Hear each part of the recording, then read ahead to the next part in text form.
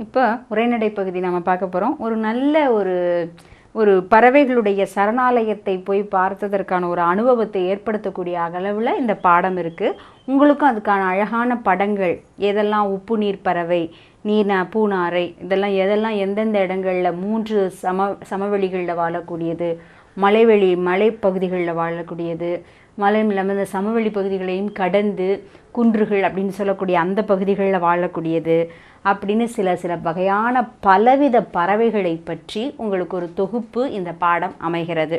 அந்த பாடத்தில் உங்களுக்கு என்னென்ன பறவைகள்லாம் தெரியுமோ சில பறவைகள் பேர் தெரியாமல் இருக்கலாம் சில பறவைகள் நம்ம பார்த்துருக்கலாம் பார்த்த பறவைகளுக்கு சிலருக்கு பேர் தெரியாமல் இருக்கலாம். இப்படி நிறைய பறவைகளை பற்றிய செய்திகள் உள்ளடக்கிய பாடமாக இந்த பாடம் அமைந்திருக்கிறது. அதனுடைய சுற்றுச்சூழல் அது எப்படி அதனுடைய உணவு எல்லாம் மேற்கொள்ளக்கூடியது அது இடம் வாழக்கூடிய சூழ்நிலைகள் என்ன எப்படியெல்லாம் பறவைகளை பாதுகாக்கக்கூடிய ஊர்கள்லாம் எது அப்படிங்கிற அந்த ஒரு பகுதியும் பறவைகளுக்கான சரணாலயங்கள் எங்கெல்லாம் இருக்கிறது அப்படின்னு சொல்லக்கூடிய அந்த புகலிடம் பறவைகளுக்கான ஒரு புகல் இடம் அப்படின்னு சொல்லக்கூடிய பறவைகள் தங்கக்கூடிய இடம் அமைப்பு எங்கே இருக்கிறது? அதெல்லாம் தொடர்பான செய்திகள் பல இருக்குது நம்ம வந்து தீபாவளி வந்துட்டாவே உடனே பட்டாசுகளை வெடித்து பலவிதமாக கொண்டாடி மகிழ்கிறோம் ஆனால் ஒரே ஒரு ஊரில் மட்டும் பட்டாசு வெடிக்க மாட்டார்கள். நாதஸ்வரம் கச்சேரி தாளங்கள் மேளங்கள் முழங்க மாட்டார்கள். ஏனென்றால் அது பறவைகளுக்கான புகழிடமாக அந்த ஊர் விளங்குகிறது. அது எந்த ஊர் அப்படின்னு சொன்னால் திருநெல்வேலி மாவட்டத்தில் உள்ள குந்தன்குளம்.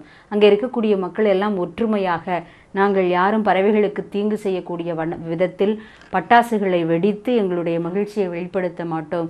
அதே நேரத்தில் நாதசுரம் இந்த இசை கச்சேரிகளை நடத்தி அந்த ஒலிகளின் மூலமாக அதுகளுக்கு அதை அதிர்வை ஏற்படுத்த மாட்டோம். அதனுடைய இனப்பெருக்கத்தை எப்போவுமே பறவைகள் வந்து ஒரு அமைதியான சூழ்நிலையை விரும்பக்கூடியது. அப்படி இருக்கும் பொழுது அதற்கு ஏதாவது ஒரு அதிர்வு ஏற்பட்டால் அது பயந்து போய்விடும். அதனுடைய இனமானது விருத்தி அடையக்கூடிய வாய்ப்பில்லாமல் போய்விடும் அப்படிங்கிற ஒரு சூழ்நிலை இருப்பதனால ரொம்ப அமைதியான கிராமமாக திருநெல்வேலி மாவட்டத்தில் உள்ள இந்த குந்தன்கிழம் மக்கள் எல்லாம் ஒற்றுமையாக செயல்படுவதாக இருப்பதனால அந்த இடம் அவ்வளோ ஒரு பெரிய பெயர் பெற்று வருகிறது. பறவைகளுடைய முக்கிய இடமாக கருதப்பட்டு வருகிறது. அப்படிப்பட்ட பறவைகள் அந்த இடத்திற்கு ஏன் போகின்றன? அதனுடைய வாழ்க்கை முறை ஏன் அப்படி அமைந்திருக்கிறது? அப்படின்னு கேட்டால் சில பறவைகள் வெளிநாட்டிலேருந்து நம்ம நாட்டுக்கு விதவிதமான பறவைகள் வந்திருக்குன்னு பேப்பரில் போட்டிருப்பாங்க. ஏன்னா அங்கே தட்பவெட்ப சூழ்நிலை அதாவது வெதர் சேஞ்சஸ் அப்படின்னு சொல்லக்கூடிய அந்த கிளைமேட் சேஞ்சஸ் வந்து ஏற்படும் பொழுது பறவைகள் ஒரு இடத்தை விட்டு ஒரு இடத்திற்கு மாறி வரும். அப்போ நமக்கு வந்து நமக்கு கோடை காலம் பனிக்காலம் மழைக்காலம் அப்படின்னு அந்த மூன்று விதமான காலங்கள் இருக்குது அந்த காலங்களுக்கு ஏற்ப பறவைகளுடைய வருகையும் நமக்கு பதிவாகும். இப்போ நமக்கு இந்த வசந்த காலமாக இருக்கக்கூடிய காலங்களோ இல்லை கோடை தவிர்த்து பனி இல்லாத அந்த பனியோடு சேர்ந்து கூடிய காலங்களாகவோ அப்படி இருக்கின்ற பொழுதெல்லாம் என்ன பண்ணும்? பறவைகளுடைய வருத்து அதாவது வருகை அதிகமாக இருக்கும். வெளிநாட்டு பறவைகளாக இருக்கக்கூடிய பறவைகள் அனைத்தும் வரும். நீங்கள் செய்தித்தாள்லாம் பார்த்துருக்கலாம். இந்த பறவையெல்லாம் இப்போ வந்து வேடந்தாங்கலில் புதுசாக வந்திருக்கு. பார்க்கும்போதே அழகாக இருக்குது இதெல்லாம் வந்து அங்கேருந்து இங்கே இடம்பெயர்ந்து வந்திருக்கிறது. இப்படி பறவைகள் ஒரு இடத்தை விட்டு தன்னுடைய சூழ்நிலையை மாற்றிக்கொள்ள தன்னுடைய உடலை பா பாதுகாத்துக்கொள்ள இப்போ நமக்கு குளிர் எடுத்தால் நம்ம என்ன பண்ணுவோம்? நம்ம போர்வை எடுத்து போத்திப்போம். பனிகாலமாக இருந்தால் அவங்க வந்து அந்த பறவைகளுக்கு வந்து அந்த மாதிரி ஒரு அறிவுத்திறனோ அந்த மாதிரி செய்து கொள்ள வேண்டும் என்ற ஒரு பக்குவ நிலையோ மனிதனை தவிர மற்ற உயிர் ஜீவராசிகளுக்கு அந்த அறிவு கிடையாது. அதனால தான் ஆறறிவு படைத்த மனிதன் என்று கூறுகிறோம். அப்படி இருக்கக்கூடிய சூழ்நிலை அது என்ன பண்ணும்? தன்னை பாதுகாத்து கொள்ள என்ன பண்ணலாம்? அப்படின்னா ஒரு இடத்துல இருந்து இன்னொரு இடத்துக்கு அது போக ஆரம்பிக்கும். அப்போ அது வந்து இடப்பெயர்ச்சி செய்கிறது. அந்த இடப்பெயர்ச்சி செய்கின்ற பொழுது அதை நம்ம என்ன சொல்கிறோம் வலசை போதல் பறவை ஓர் இடத்திலிருந்து இன்னொரு இடத்திற்கு போதலை வலசை போதல் அப்படின்னு சொல்கிறோம் வலசை போதல் அப்படிங்கிறது பறவை இடம் விட்டு இடம் பெயர்தல். வலசை போதல் பறவைகள்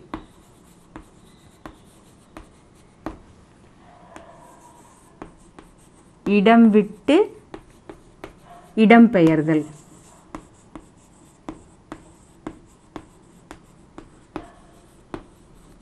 இதை தான் வலசை போதல் அப்படின்னு சொல்லுவோம்.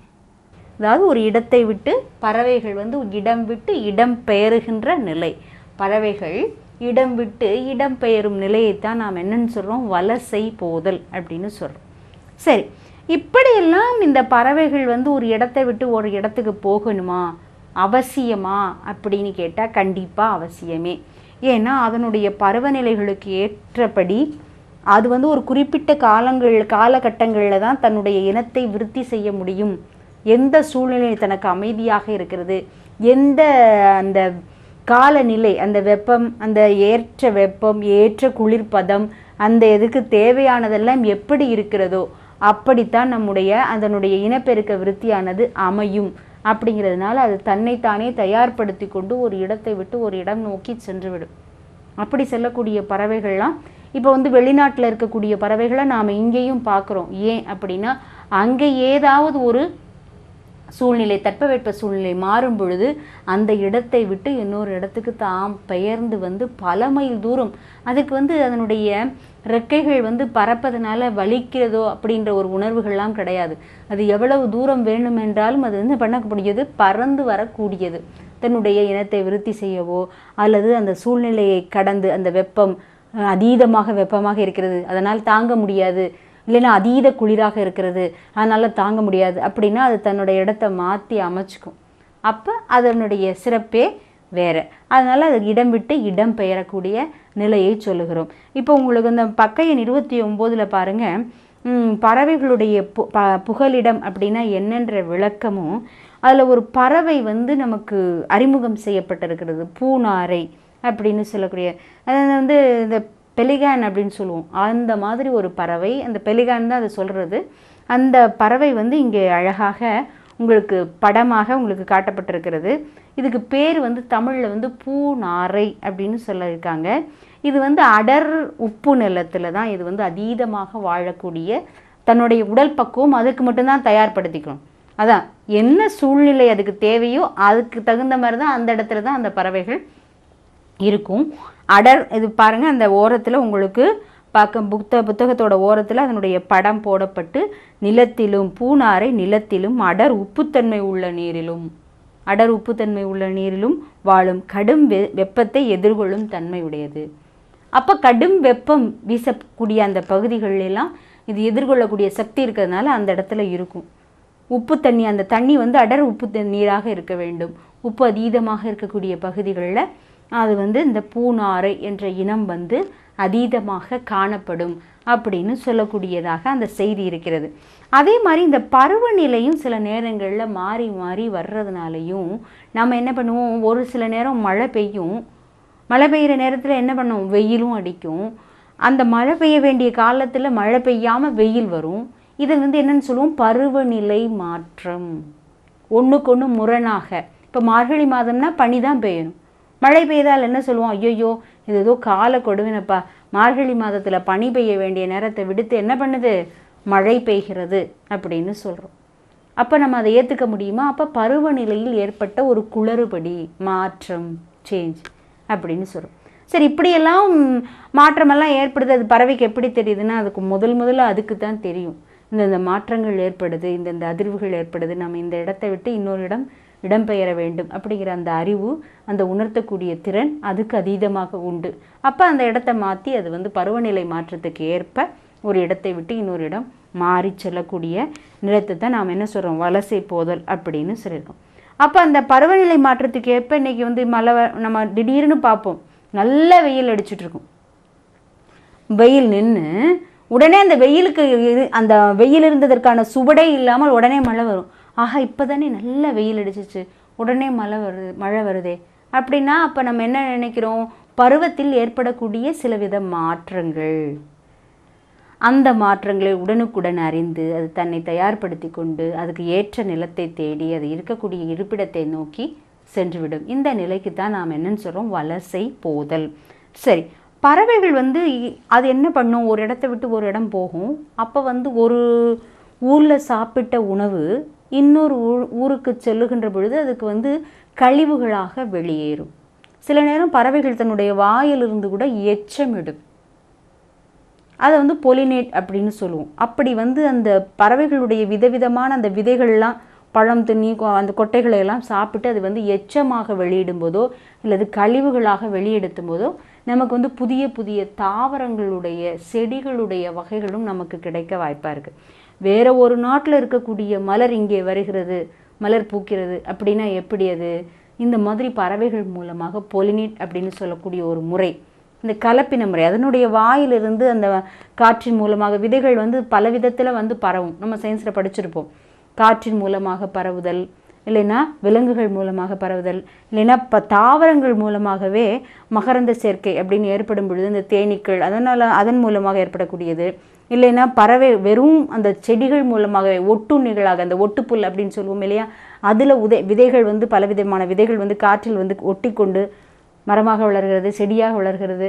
அப்போ பல நாட்டில் உள்ள பலவிதமான தாவரங்களுடைய பெயர்ச்சியும் இந்த வலசை போதல் மூலமாக நமக்கு கிடைக்கிறது. பறவைகள் வந்து ஒரு இடத்தை விட்டு ஒரு இடம் வந்து ஏற்படும் பொழுது இது ஏற்படுகிறது. அப்போ இந்த பாடத்தில் நமக்கு வந்து முதல் பகுதியில் வந்து என்னென்னா இந்த பறவைகளுடைய தன்மைக்கேற்ப அந்த காலநிலைகளுக்கேற்ப பருவநிலை மாற்றத்திற்கு ஏற்ப தன்னுடைய நிலையை மாற்றிக்கொண்டு வலசை போதல் பகுதிக்கு வந்து அது ஒரு பெரிய பயனை நமக்கு ஏற்படுத்துகிறது.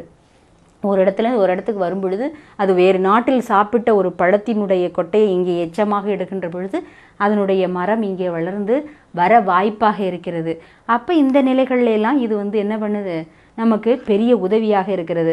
அதைத்தான் அங்கே வந்து நமக்கு வந்து முப்பதாவது பக்கத்துலேயும் உங்களுக்கு உலகம் முழுவதும் மரம் செடி கொடிகளை பரப்பும் வேலையும் பறவைகள் செய்கின்றன அப்படின்னு ஒரு பத்தியில் நமக்கு கொடுக்குறாங்க. பறவைகளுடைய பயன்கள் அந்த பறவைகள் என்னென்ன பயன் நமக்கு தருது? அப்புறம் வயல்வெளிகளில் பயிர்களை தாக்கும் பூச்சி வண்டு எதா இருந்தால் அது என்ன பண்ணும்? வேகமாக பறந்து சென்று அதனுடைய உணவாக்கி கொள்ளும். வெறும் பழங்களை மட்டும் தின்னக்கூடியவைகள் கிடையாது பறவைகள். பல வகைகளில் அந்த பறவைகளுக்கு வந்து உணவுகள் தேவைப்படுது. பூச்சிகள் தேவைப்படுகிறது. அப்புறம் வண்டுகள் இந்த மாதிரி பல வகையான ஜந்துக்கள் உயிர் புழு இந்த மாதிரி நிறைய உணவுகளை பறவைகள் எடுத்துக்கொள்ளக்கூடிய நிலையில் இருக்குது அப்போ நமக்கு வயல்வெளிகளில் வெட்டுக்கிளி இந்த மாதிரி சொல்லக்கூடிய பறவைகள்லாம் தீங்கு செய்யக்கூடியவையாக இருக்கிறது. இதையெல்லாம் ஒழிக்கக்கூடிய ஒரு பெரிய பாதுகாவலனாக வயல் பாதுகாவலனாக கூட எது இருக்கிறது என்றால் இந்த பறவைகள் இருக்கிறது என்று சொல்லலாம். அப்படிப்பட்ட ஒரு நிலையில் பறவைகளை நம்ம நண்பர்களாக வைத்திருக்கிறோம். அது மட்டுமா அதனுடைய அமைப்பு சார்பு அதாவது அது வந்து எப்படியெல்லாம் தன்னை வந்து எந்தெந்த இடத்துக்கு தகுதியானதாக ஆக்கிக்கிறது அப்படின்னு சொல்கிறத கூட ஒரு செவ்வக வடிவ வட்டத்தில் உங்களுக்கு போட்டு செவ்வக வடிவத்தில் ஒரு பக்கமாக போட்டிருக்கிறாங்க. அது எந்தெந்த எந்தெந்த பறவைகள் எந்தெந்த பகுதிகளில் எப்படி எப்படியெல்லாம் வாழும் அப்படிங்கிறத போட்டிருக்காங்க. என்ன? சமவெளி மரங்களில் வாழும் சில பறவைகள் சமவெளி பகுதி அப்படின்னு சொல்லக்கூடிய அந்த பகுதியில் வாழக்கூடியது. அதாவது நடுவில் வந்து ஒரு மேடு பள்ளம் மேடு பள்ளமாக நோக்கி செல்லக்கூடிய நிலையத்தை நாம் என்னன்னு சொல்கிறோம் சமவெளி பகுதி அப்படின்னு சொல்கிறோம் புல்தரைகள் நிறைந்த அப்படி இருக்கக்கூடிய புல்தரை நிறைந்த ஏற்ற இறக்கமாக இருக்கக்கூடிய அந்த ஒரு பகுதியை தான் சமவெளி அப்படின்னு சொல்கிறோம் புல் நிறைந்த பகுதியே. அங்கே வந்து மஞ்சள் சிட்டு சிட்டுக்குருவியை பார்த்துருக்கோம். இப்போ சிட்டுக்குருவிக்கு தனியாக ஒரு இணையதளத்தில் ஒரு முகவரியே கிடைத்திருக்கிறது. எங்கெல்லாம் சிட்டுக்குருவிகள் இருக்கிறதோ அந்த சிட்டுக்குருவிகளை பற்றிய செய்திகளை தாருங்கள் அப்படின்னு ஒரு இணையதளமே உருவாகி இருக்கிறது ஏன்? ஏன்னா சிட்டுக்குருவிகளை இப்போ பார்ப்பது ஒரு அரிதாக வருகின்ற காரணம். ஏன் அப்படின்னா இந்த செல்ஃபோன் டவர் அப்படின்னு சொல்லக்கூடிய அந்த அலை வாங்கி அப்படின்னு சொல்லக்கூடிய அந்த அலை வாங்கி வந்து அதிர்வுகளை அதிகமாக ஏற்படுத்துகின்ற காரணத்தால் சிட்டுக்குருவிகள் அதீதமாக இருப்பதில்லை. அப்படின்னு. ஏன் அந்த சிட்டுக்குருவிகள்லாம் முன்னால் வீடுகள்கிட்டலாம் இருந்ததுன்னா அதிகமான தானியங்கள் மேலே ஏதாவது மாடிகளில் காய வைக்கும் பொழுது அதை எடுத்து உண்ண வருவதற்காக வரக்கூடிய நிலை இருந்தது. அதனால் சிட்டுக்குருவிகள் அதிகமாக பெருகி இருந்தது. இப்போ மாடிங்கிற நிலையே கிடையாது. எல்லாம் அடுக்கக வீடுகளாக இருக்கின்ற காரணம் காய வைக்கிறதுங்கிறது வேற வேற விஷயம். எல்லாமே வேற வேற விதமாக துரிதமாக மாறிவிட்ட காரணத்தினால சிட்டுக்குருவிகளை பார்ப்பது மிகவும் அரிதாகி வருகிறது. எங்கெல்லாம் சிட்டுக்குருவி இருக்கோ அங்கெல்லாம் எங்களுக்கு உடனே ஒரு தகவல் கொடுங்கள். நாங்கள் அதை பாதுகாப்பு செய்வோம் அப்படின்னு ஒரு அமைப்பே இணையதளம் மூலமாக இயங்கி கொண்டு இருக்கிறது அப்போ இந்த மாதிரி அதுக்கு தேவையான சூழ்நிலை இருக்கும்போது தான் பறவை இனங்கள் அந்த இடத்துல இருக்கும். இல்லைன்னா அதனுடைய இனமே அழிந்து போகக்கூடிய நிலை ஏற்படுகிறது. அதனால தான் திருநெல்வேலி மாவட்டத்தில் குந்தன் குளத்தில் என்ன பண்ணிட்டு இருக்காங்க? வெடி வெடிப்பதில்லை. எந்த விதமான கச்சேரி முழக்கங்களும் கிடையாது. அப்போ நம்ம நம்ம இயற்கையை பாதுகாக்கணும். நம்ம சில நடவடிக்கைகளையும் மேற்கொள்ள வேண்டும். அதை தான் அந்த திருநெல்வேலி மாவட்ட மக்கள் குந்தன்குள மக்கள் செய்து வருகிறார்கள். இங்கே என்ன இருக்குது அப்படின்னா மஞ்சள் சிட்டு செங்காகம் சுடலை குயில் பனங்காடை தூக்கணாங்குருவி. இந்த சமவெளி பகுதியில் இருக்கக்கூடிய பறவைகளுடைய பெயர்கள் அங்கே இடம்பெற்றிருக்கிறது. சரி நீர்நிலைகளில் வாழும் பறவைகள் என்ன அப்படின்னா கொக்கு தாழைக்கோழி இதெல்லாம் உங்களுக்கு கேள்விகளாக கேட்டால் ஒரு நாலைந்து பறவைகளுடைய பெயரை எழுதுனா போதுமானது. கொக்கு தாழைக்கோழி பவளக்காளி ஆற்று உள்ளான் முக்குளிப்பான் நாரை அரிவாள் மூக்கான். அரிவாள் மூக்கு மாதிரி இப்படி நீண்ட மூக்கு இருக்கும். அரிவாள் எப்படி இருக்கோ அதே மாதிரி இருக்கும். கரண்டி மூக்கு அப்படின்னு சொல்லுவோம். கரண்டி மாதிரியே இருக்கும். அந்த கரண்டியை வச்சு மோக்கிற மாதிரியே அதனுடைய அழகு அதனுடைய பீக் அப்படின்னு சொல்லக்கூடிய அந்த மூக்கு வந்து அந்த மாதிரி அமைப்பில் இருக்கும். அரிவாள் மூக்கான் கரண்டி வாயன் ஊசிவால் வாத்து இப்படியெல்லாம் நிறைய பறவைகள் எங்கே இருக்குது நீர்நிலைகளில் வாழும் சில பறவைகள். சரி மலைகளில் வாழும் பரவக்கூடிய பறவைகள் என்னென்ன? அப்படின்னு சொன்னால் இருவாச்சி செந்தலை பூங்குருவி மின்சிட்டு கருஞ்சின்னான். நம்ம வந்து டெய்லர் பேர்ட் அப்படின்னு சொல்லுவோம். அது ரொம்ப சின்னதாக இருக்கும். தேன் உறிஞ்சி பறவை அப்படின்னு சொல்லுவோம். அதெல்லாம் ஹம்மிங் பேர்டு அப்படின்றது. அந்த மாதிரி குட்டி குட்டி பறவைகள்லாம் அந்த அதனுடைய இனம் இப்போ வந்து ரொம்ப அழிந்து கொண்டு வருகிறது. முன்னால் வந்து காசிக்கட்டி குருவி அப்படின்னு ஒன்று இருக்கும். அது வந்து மலைகா ம ம- மழை பெய்யும் பொழுது அது என்ன பண்ணுமா? மண்ணை பிழந்து கொண்டு வெளியே வரும். மண்ணை பிழந்து வெடித்து கொண்டு வெளியே வருமா? இந்த மழை பெஞ்சு முடிஞ்ச காலகட்டங்களில் காசிக்கட்டு குருவி வெளிப்படக்கூடியது. அதுக்கு பேர் காசிக்கட்டி குருவி அப்படின்னு சொல்லுவோம். அது அது குட்டி குட்டியாக இருக்குமா? அது அந்த நேரத்தில் அது வெடித்து பரவும் அப்படின்னு சொல்லுவாங்க. அந்த மாதிரி சில பறவை இனங்கள்லாம் இப்பொழுது இல்லாமலே போய்விட்ட நிலை இருக்கிறது. அன்ன அன்னம் தெரியும். பாலை மட்டும் எடுத்துக்கொண்டு நீரை விடுத்து உண்ணக்கூடிய உயர்ந்த பறவை இனமே இப்போ என்ன கிடையாது? ஸ்வான் சொல்லக்கூடிய அந்த பறவை இனமே அழிந்த நிலை இருக்கிறது.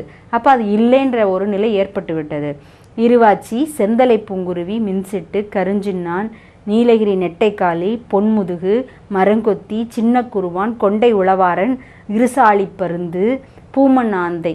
மொட்டைப்பருந்துன்னு ஒன்று இருக்கும். அதெல்லாம் வந்து ஆப்பிரிக்க காடுகள்லாம் இருக்கக்கூடியது. அதுக்கு தலையில் வந்து முடியே இருக்காது. அதனால அதை மொட்டை பருந்துன்னு சொல்லுவாங்க.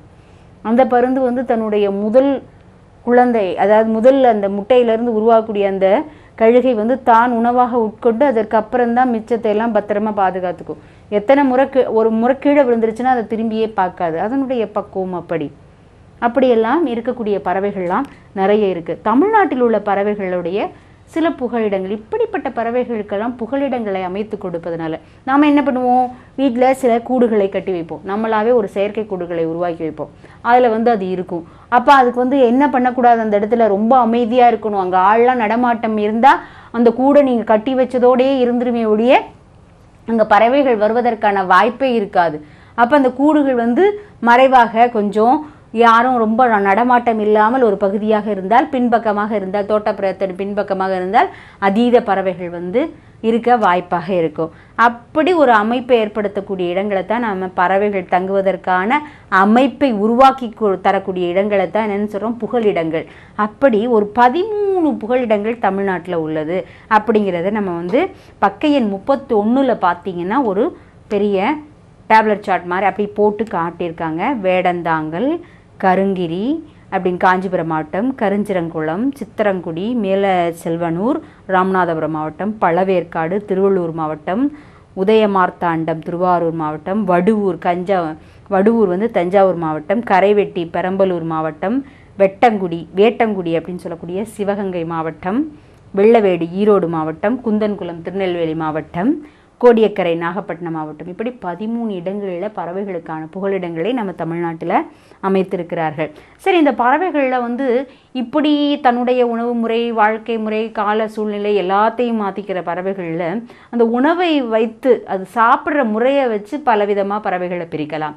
அப்படின்னா என்ன? அப்படின்னா ஒரு ஐந்து வகையாக பறவைகளுடைய உண்ணக்கூடிய தகுதியை வைத்து ஐந்து வகை வகையாக பிரிக்கலாம். என்ன? தேனை குடித்து வாழும் பறவைகள். அதான் நான் சொன்னேன் தேன் உறிஞ்சி தேன் சிட்டு அப்படின்னு சொல்கிறோம் இல்லையா? அதனுடைய மூக்கு ஊசியாக இருக்கும். அந்த மலரில் உள்ள தேனை மட்டும் அழகாக எடுத்து குடிச்சிட்டு போயிடும் அப்போ அதை வந்து தேன் சிட்டுன்னு சொல்லுவோம். தேனை மட்டும்தான் அது சாப்பிடும். வேறு எதையுமே சாப்பிடாது. தேன் உறிஞ்சும் பறவை அப்படின்னு சொல்கிறோம் சரி. பழத்தை உண்டும் வாழும் பறவைகள். வவ்வால்லாம் சிலதெல்லாம் வவ்வாலில் பல வகை உண்டு. அது வந்து மனிதனையே சாப்பிடக்கூடிய வவ்வால்களும் இருக்குது நெக்டார் ஃப்ரூட்ஸ் அப்படின்னு சொல்லக்கூடிய ஃப்ரூட்ஸை மட்டுமே சாப்பிடக்கூடிய வவ்வால் பகுதிகளும் இருக்குது வவ்வாலும் இருக்குது அதே இல்லாமல் அதுவும் இல்லாமல் பூச்சி வகைகளை சாப்பிடக்கூடிய மாமிச உண்ணிகளாகக்கூடிய இருக்கக்கூடிய ரத்தத்தை ஃப்ளஷ் ஃபுட் அப்படின்னு சொல்லக்கூடிய அந்த இதை சாப்பிடக்கூடிய வவ்வால் வகை இனங்களும் இருக்கிறது.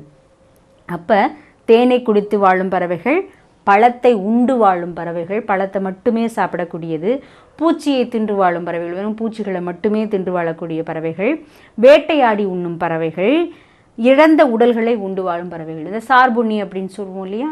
அப்படி இருக்கக்கூடிய அந்த பறவைகள் ஸ்கேவஞ்சர்ஸ் அப்படின்னு சொல்லக்கூடிய அந்த நிலையில் இருக்கக்கூடிய அந்த பறவைகள்.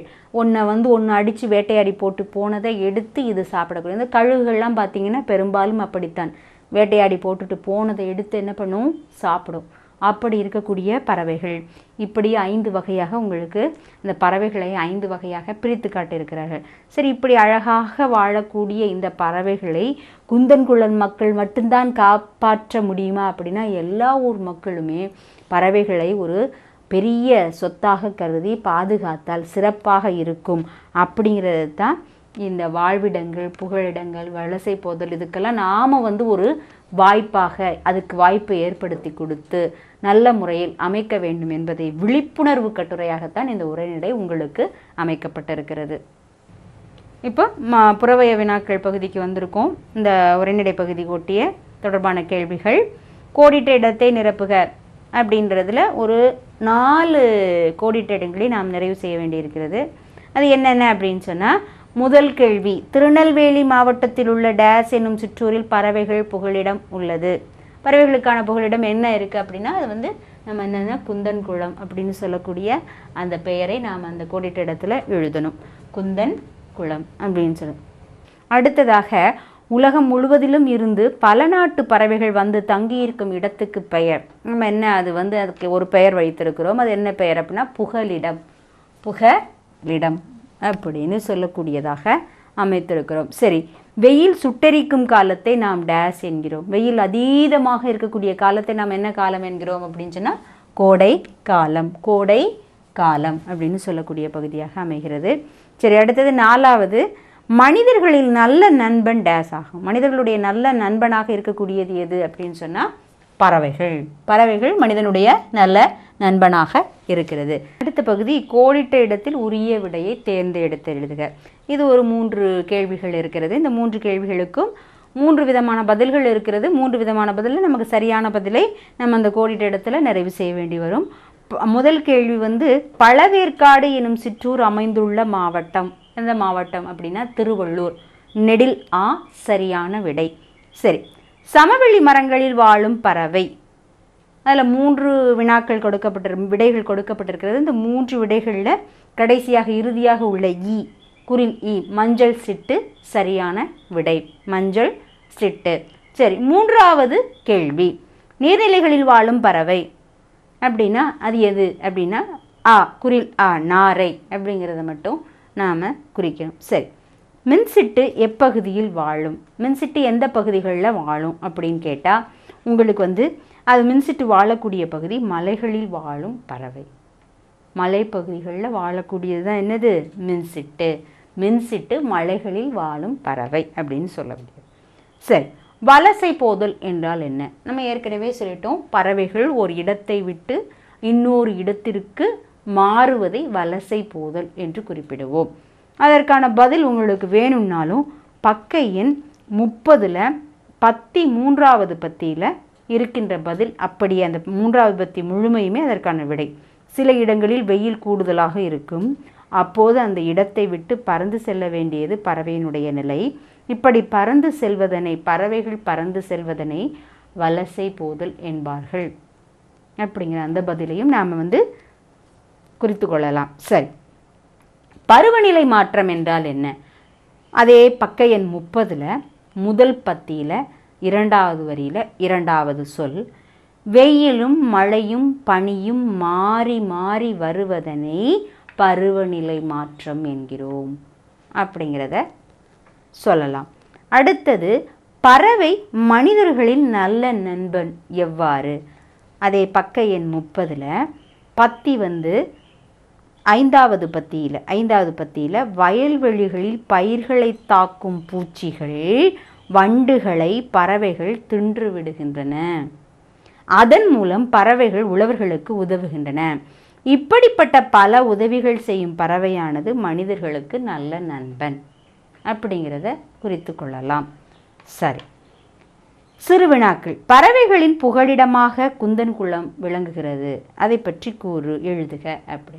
ஆமாம் திருநெல்வேலி மாவட்டத்தில் அமைதியாக நிலவக்கூடிய அந்த பகுதி திருநெல்வேலி மாவட்டம். அந்த பகுதியில் இந்த குந்தன் குளத்தில் இருக்கக்கூடிய மக்கள் பட்டாசுகளை வெடிப்பதில்லை. எந்த விதமான இசை கச்சேரிகளையும் நடத்துவதில்லை. அதனால் அது வந்து அமைதி பூங்காவாக இருப்பதனால் அந்த கிராமம் அது பறவைகளின் புகலிடமாக விளங்குகிறது அப்படின்னு எழுதலாம். உனக்கு தெரிந்த பறவைகள் புகலிடம் நான்கின் பெயரை எழுதுக. பக்க எண் திரும்பவும் பக்க எண் முப்பத்தி ஒன்றுக்கு வாங்க. அங்கே உங்களுக்கு வந்து தமிழ்நாட்டில் உள்ள பறவைகளின் புகலிடங்கள் அப்படின்னு இருக்கு இல்லையா? அதில் ஒரு நாளை எடுத்து நாம் எழுதலாம். அப்படி எழுதலாம். அந்த மாதிரி எழுதினால் போதுமானதற்கு பதில். பறவைகள் எத்தனை வகையாக பிரிக்கலாம்? அவை அவை பக்க எண் முப்பத்தி ஒன்று. இளம் சிவப்பு மையினாலும் அடர் நீல அதாவது வைலட் கலர்லையும் பிங்க் கலர்லையும் உங்களுக்கு அந்த பறவைகள் ஐந்து வகையாக பிரிக்கலாம். பக்க எண் தொடக்கத்திலேயே இருக்குது பறவைகளை ஐந்து வகையாக பிரிக்கலாம். தேனை குடித்து வாழும் பறவைகள் பழத்தை உண்டு வாழும் பறவைகள் பூச்சியை தின்று வாழும் பறவைகள் வேட்டையாடி உண்ணும் பறவைகள் இறந்த உடல்களை உண்டு வாழும் பறவைகள் அப்படின்னு ஐந்து பகுதிகளாக பிரிக்கப்பட்டிருக்கு.